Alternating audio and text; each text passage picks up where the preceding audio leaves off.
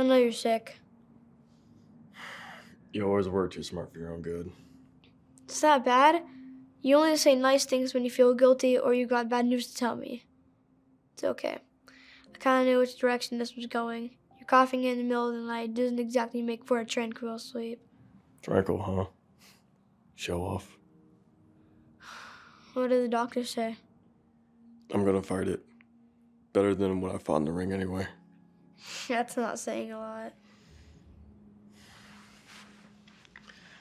I'm gonna need some more help around here.